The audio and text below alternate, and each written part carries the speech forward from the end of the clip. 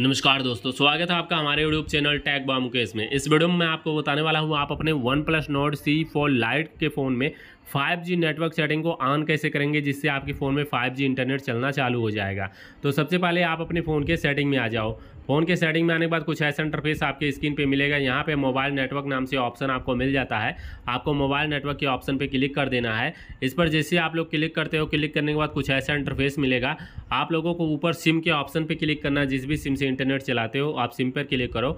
SIM पर जैसे आप लोग यहाँ पे सिम वन पर मैं क्लिक करता हूँ, यहाँ पर देख सकते हैं कुछ ऐसा इंटरफेस डाटा रोमिंग का ऑप्शन अगर बंद है तो इसको ऑन कर दीजिए।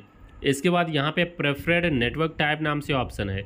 आपको प्रेफरेड नेटवर्क टाइप पे क्लिक करना है और सबसे फ़र्स्ट ऑप्शन आपको मिलेगा 5G का।